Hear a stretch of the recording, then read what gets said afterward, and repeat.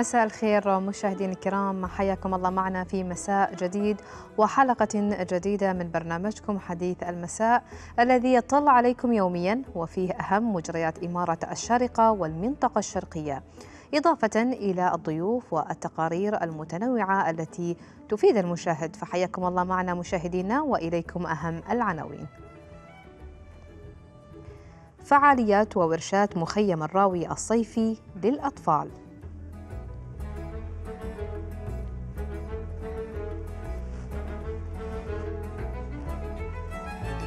استراحة السحب وجهة بأجواء مميزة في مدينة خرفكان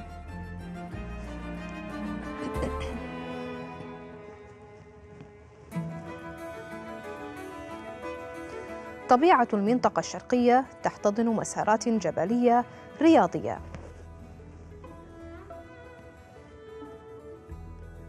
إذا مشاهدينا هذه أهم العناوين لهذا المساء وننتقل معكم إلى جولتنا الإخبارية. وانتقينا فيها أهم الأخبار لإمارة الشارقة والمنطقة الشرقية. نبتدئها بأول خبر. الشارقة لعلوم الفضاء تشارك في مؤتمر كوسبار الدولي باليونان.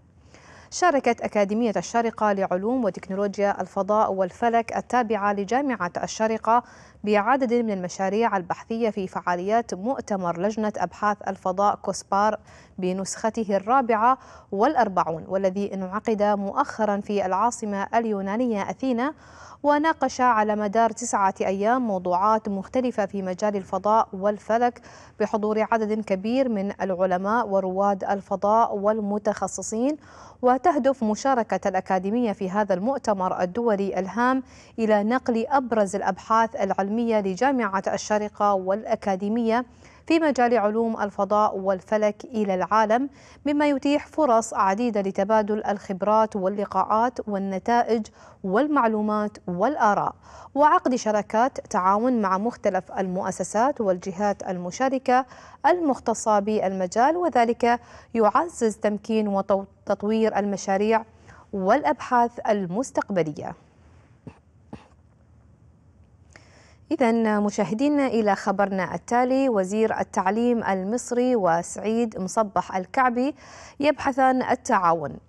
أكد وزير التربية والتعليم الفني المصري الدكتور طارق شوقي أن هناك تعاونا كبيرا في مجال التعليم بين دولة الإمارات العربية المتحدة وجمهورية مصر العربية وخاصة في التعليم الرقمي لافتا إلى أن هناك اهتمام مشترك بين البلدين في التطوير خلق تناغما كبيرا مما يعزز فرص التعاون.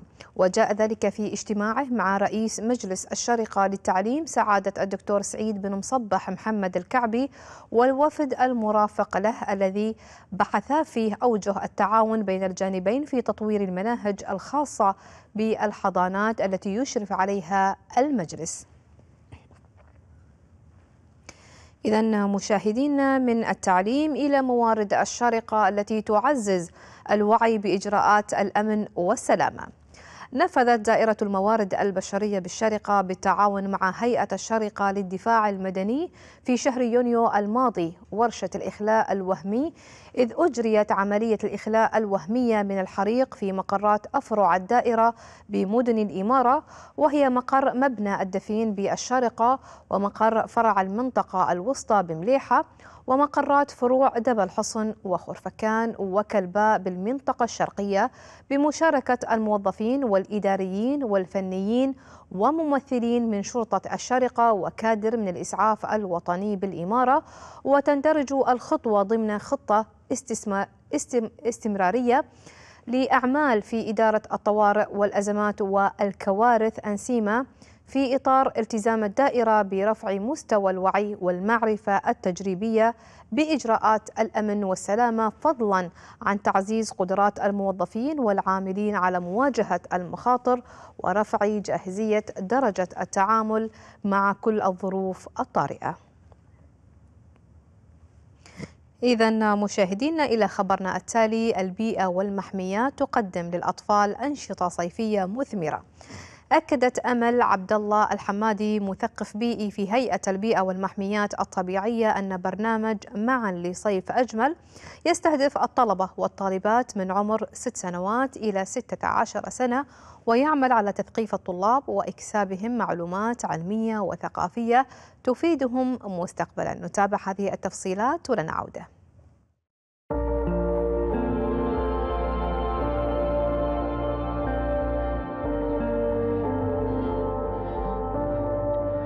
نظمت هيئة البيئة والمحميات الطبيعية للسنة الخامسة على التوالي برنامج معا لصيف أجمل اللي تم استهداف فيه آه، الطلاب ما بين عمر 8 آه، سنوات إلى 16 سنة. تم استهداف فيه فئة الذكور وفئة الإناث. البرنامج كان على مدار أسبوعين على التوالي. تم فيه زيارة المراكز التابعة لإمارة الشارقة اللي تندرج تحت هيئة البيئة والمحميات الطبيعية بالإضافة إلى متحف الحضارة الإسلامية والغرفة الماطرة.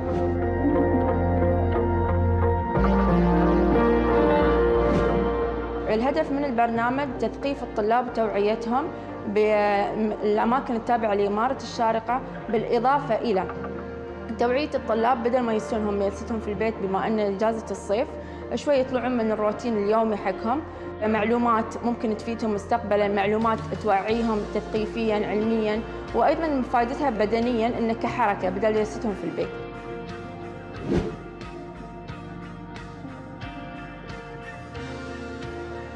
برامج هيئة البيئة والمحماة الطبيعية لا تقتصر فقط على الصيفي وطلاب الصيفي.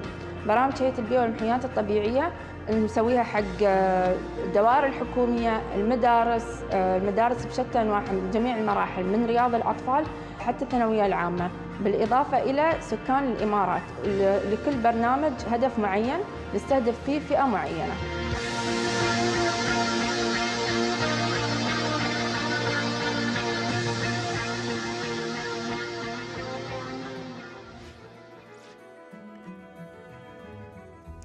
إذا مشاهدين الكثير من الفعاليات والأنشطة الصيفية المقامة في إمارة الشارقة ونتحدث في المنطقة الشرقية هناك حقيقة عدد كبير من الأنشطة مقدمة من الجهات من الدوائر الحكومية المؤسسات جميع هذه المنظمات حقيقة التي تعمل آه، تكاتفا مع المجتمع ومع أفراد المجتمع في تقديم مثل هذه الأنشطة لمختلف الفئات العمرية خصوصا للطلبة. فهذه الفعاليات متنوعة إن كانت في مجال الروبوتات أو مجال البرمجة في مجال آه، أيضا يمكن الأنشطة البحرية آه، في مجال أيضا الناشئة مراكز الأطفال مؤسسة ربع قرن بجميع أفرعها. أيضا لدينا آه، الأندية المنتشرة في إمارة الشارقة تقدم أيضا برنامج متكامل تحت عنوان عطلتنا غير. فكل هذه الأنشطة حقيقة قد يعني يمكن الآباء آه، لا لا يعرفون ماذا ينتقون من هذه الأنشطة لأنها متنوعة وكثيرة فأين ينتسب إبنائهم؟ لأن كل نشاط مختلف بمحتوى جميل حقيقة. فمن ضمن هذه الأنشطة أيضا ننتقل إلى آه، إلى مركز التراث العربي حيث نظم هذا المركز التابع لمعهد الشارقة للتراث البرنامج الصيفي مخيم الراوي مستهدفا الأطفال في العطلة الصيفية عبر ورشات وفعاليات متنوعة تعليمية وترفيهية. للحديث أكثر عن هذا المخيم يسعدني أن أرحب عبر الاتصال المرئي بالأستاذة موزة حسين الياسي أمينة مكتبة في مركز التراث العربي بالشارقة. أستاذة موزة أهلا وسهلا بك. أهلا وسهلا بك. طبعا في البداية أستاذة موزة يعني كل جهة حاليا في هذه الفترة تقدم برنامج صيفي مختلف ومتنوع وقيم بمحتوى. نتحدث عن البرنامج الصيفي وهو مخيم. الراوي أتوقع تم تنسيق هذا البرنامج بشكل مكثف وبشكل جميل حتى يتم تقديمه بهذه الصورة. بداية نتعرف عن نبذة عن هذا البرنامج لندخل بتفاصيله. آه، يعد هذا المخيم من المخيمات الصيفية التي تهدف إلى توفير بيئة عملية وتعليمية مناسبة للأطفال خلال فترة الصيف. آه، ويعد هذا المخيم من الورش والبرامج التي تسبق ملتقى الشارقة الدولي للراوي حيث كان هناك عدة ورش مثل السرد الحكائي آه، والخط العربي ومبادرة آه، باب الحكاية ورسم شخصيات القصة وورشة وأشغال يدوية مختلفة. نعم. إذا فعاليات متنوعة حقيقة تقدمونها من خلال هذا البرنامج. إذا أستاذة موزة آه، عندما نتحدث عن هذا البرنامج أتوقع أن هناك فئات عمرية معينة تقدم إليها هذه الورش ما هي الفئات المستهدفة؟ آه، نحن نستهدف الأطفال من عمر 8 إلى 12 سنة نعم إذا هذه الورشات والفعاليات أتوقع تبدأ من وقت معين حتى وقت معين ما هي الساعات نعم. التي تقدم فيها آه، البرامج؟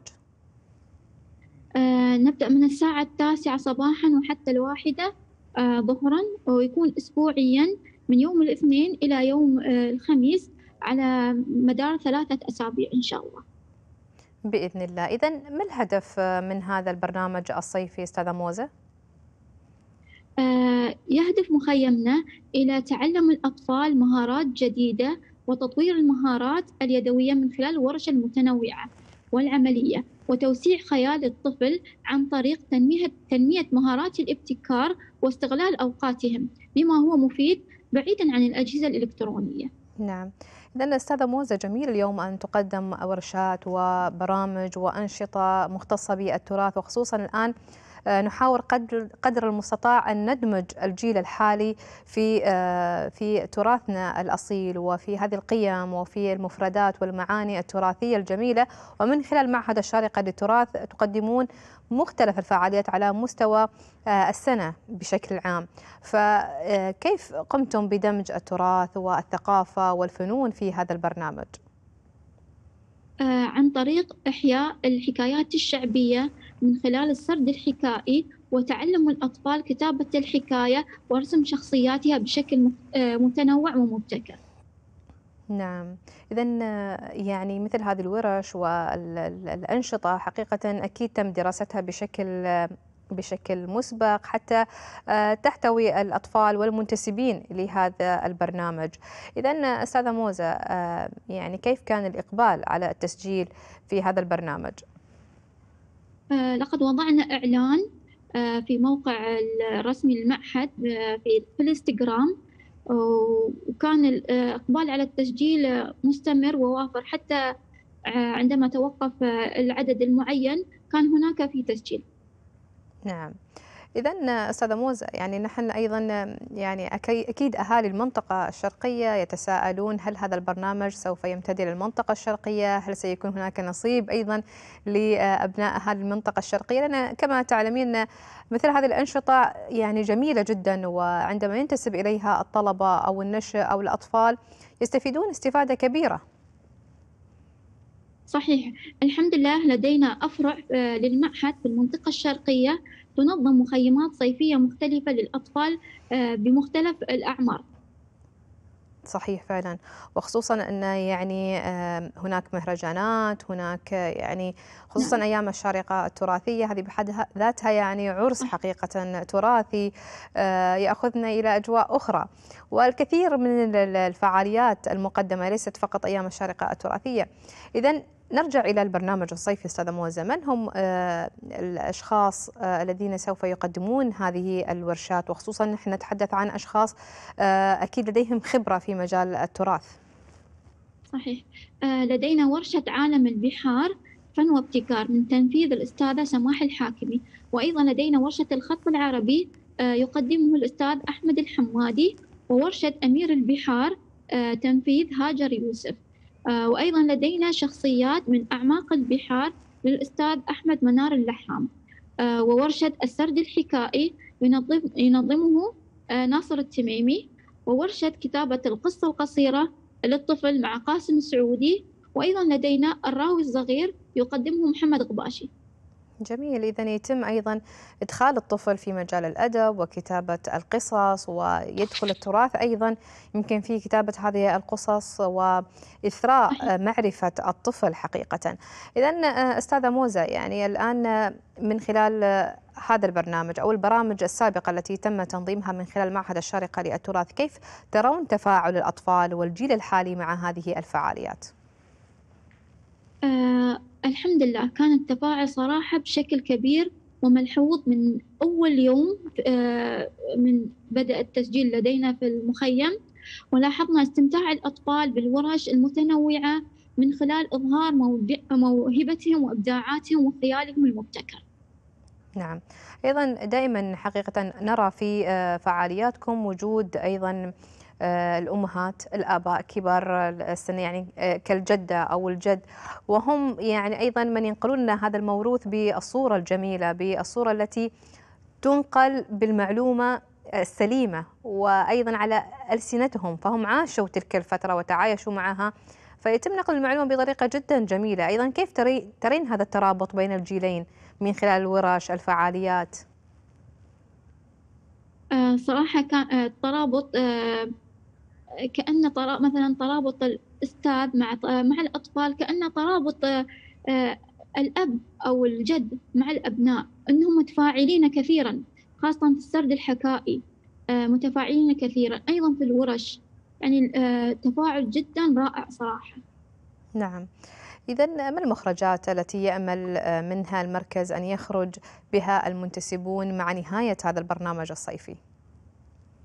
آه، نحن نأمل أن نخرج آه، من هذا البرنامج طفل مبدع قادر على تخيل قصة ورسم شخصياتها وكتابة حكايات قصيرة ورواية هذه القصص من محض خياله مع ابتكار فنون متنوعة في الأعمال اليدوية المختلفة.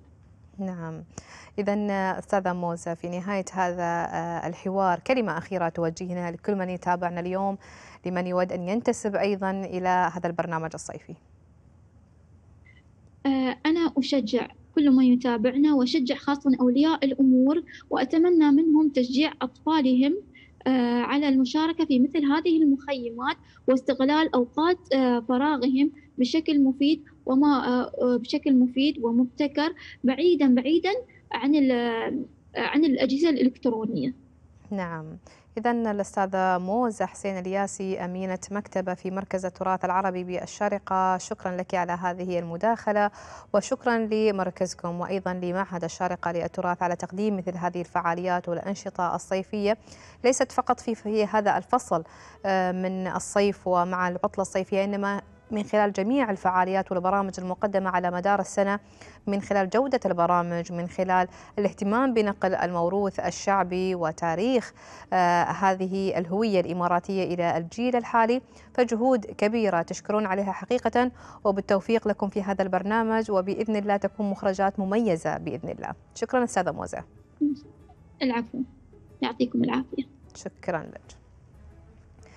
إذا مشاهدينا تتميز المنطقة الشرقية بعدد من الأماكن السياحية المميزة إذ تتوسط مدينة خرفكان استراحة السحب وتتمتع بجمالية أجوائها وموقعها الذي يجذب الزوار لها.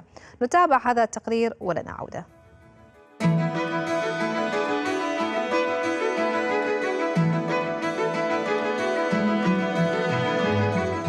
إذا كنت ترغب بتجربة أجواء ممتعة بين السحاب برفقة العائلة أو الأصدقاء فعليك بزيارة استراحة السحب في مدينة خرفكان. هذه الاستراحة التي تتربع فوق أعلى قمة بالمدينة.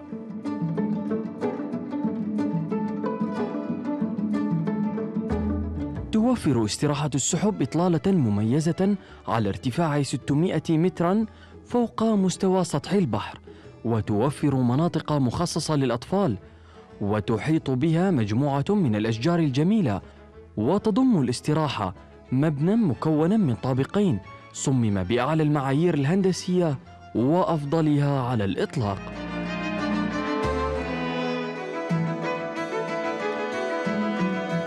بدءا من التقاط الصور التذكارية وتأمل الطبيعة الخلابة والإطلالات الساحرة على مدينة خورفكان مرورا بمقهى ومطعم استراحة السحب فضلا عن اللعب والذهاب في نزهات ممتعة للغاية. هنالك الكثير من الأنشطة التي يمكنك القيام بها في استراحة السحب الواقعة في قلب مدينة خرفكان عروس الساحل الشرقي.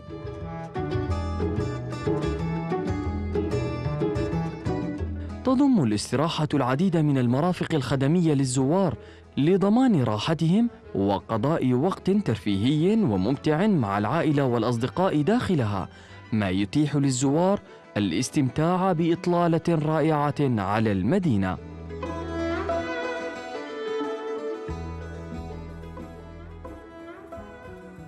إذا مشاهدينا تابعنا معكم هذه اللقطات الجميلة وهذا التقرير لاستراحة السحب بمدينة خرفكان. وهذه اللقطات عندما نتابعها حقيقة لا نتوقع أن تكون في دولة الإمارات أو في المنطقة الشرقية أجواءها جدا خيالية وجميلة فعندما ترتفع عدة أمتار إلى أعلى سطح البحر فتكون المناظر جدا جميلة. فهذه الاستراحة هي تعتبر يعني مكان جذب للأهالي وللزوار ولأهالي المنطقة سواء للأطفال للعائلة بشكل عام. يقضون أجمل أوقات هناك. يعني بعض الأماكن الجميلة منطقة ألعاب للأطفال أيضاً الأهالي قد يعني يرتادون هذه الجلسات الخارجية. أيضا هناك جلسات داخلية أيضا هناك مقهى متواجد في هذه الاستراحة. تقضي في أوقات جدا جميلة مع وجود السحب القريبة من استراحة السحب فمنظر خيالي جدا جميل. يمكن الآن نحن في فصل الصيف تحديدا اليوم كانت الأجواء جدا جميلة في مدينة خرفكان الجو غائم.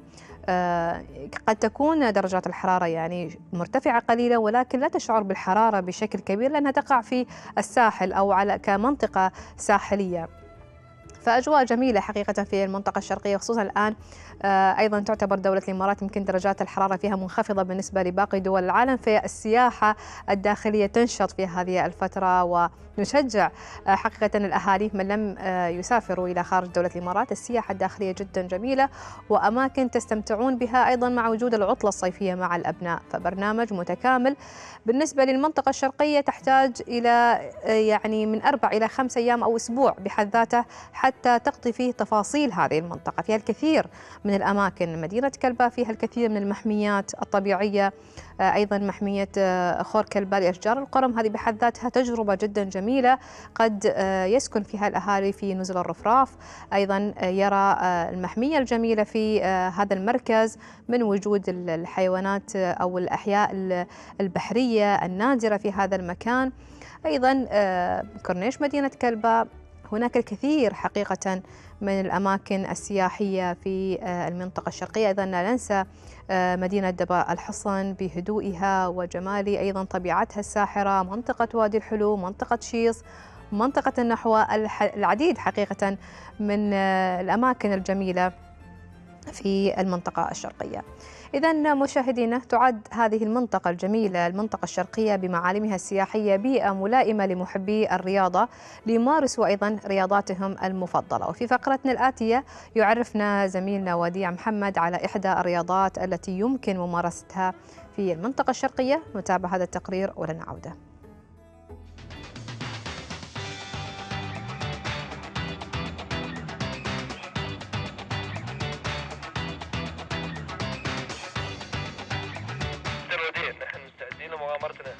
عودة جاهز. مشاهدينا الكرام اليوم إن شاء الله بتكون عندنا مغامرة شيقة في مدينة خرفكان وبالأخص في وادي وشي برفقة فريق خرفكان للمغامرات. تعالوا معنا.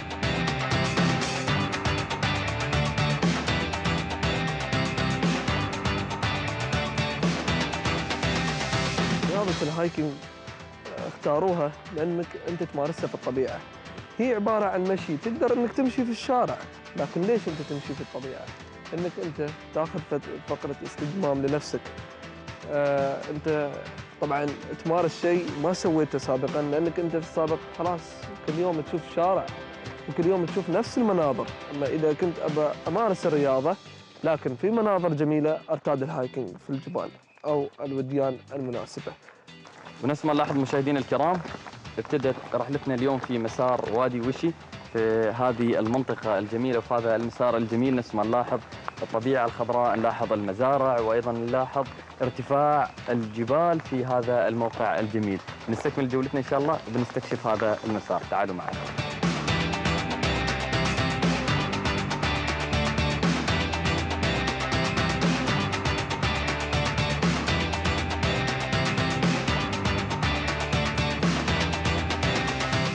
شاء الله علي يعني نحن نفس ما نلاحظ أن دائما فريق خرفكان للمغامرات. دائما ما يعني يدعم الرياضة في مدينة خرفكان، الرياضة السياحية بشكل أخص فانتم دائما كفريق تظهرون في المواقع كافه يعني المواقع الرياضية؟ أكيد أكيد يعني شوف إحنا في مدينة خرفكان أنت عارف مدينة خرفكان يعني مكان فيه مغامرات مناطق للمغامرات مناطق لل- للمغامرين. فإحنا كفريق فريق خرفكان دائما نسعى إن نكتشف هذه الأماكن نغامر فيها مثل منطقة سويفه شاطئ سويفه مثل سد الرفيصة مثل هذه الأماكن الحلوة الجبال مناسبة للمغامرات. نفس ما نعرف ما شاء الله يعني عندكم في فريق خرفكان يعني عدد كبير من الرياضات اللي أنتم تمارسونها في هذا الفريق. أكيد طبعا. إحنا يعني في مدينة خرفكان آه، إحنا كفريق نحب آه، يعني نروح الأماكن اللي فيها مغامرات اللي فيها صعوبات. يعني لازم الواحد تواجهه صعوبات عشان يستمتع في الرحلة فاهم علي؟ ومدينة خرفكان يعني مثال مثال حي. حي لهذه لل... الرياضات. لل... لهذه الرياضات يعني. لأن شوف مثل ما أنت شايف الجبال المغامرات. وإحنا كفريق خورفكان إحنا شباب من مدينة خورفكان مغامرين نحب المغامرات نحب هذه النوع من ال... من ال... الأشياء اللي تمتعنا الصراحة وتخلينا نحس بروح المغامرة. يلا نستكمل جولتنا؟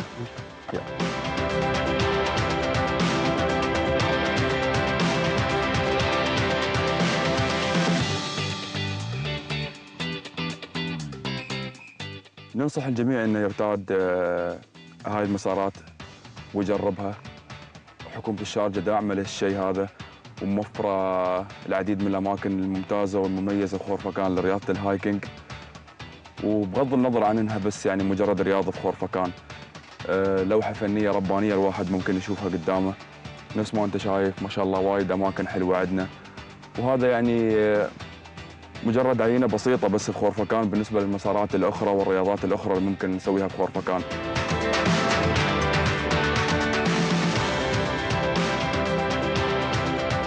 رسالتنا نوجهها لكم مشاهدينا الكرام قبل ارتياد أي مسار من هذه المسارات أو ممارسة أي رياضة من هذه الرياضات يجب الاطلاع على التعليمات الأمن والسلامة لأي رياضه من هذه الرياضات، رياضه المسير الجبلي طبعا تحتاج اللبس الرياضي الكامل وأيضا حقيبة ظهر يكون معاها آه، أيضا خزان من الماء.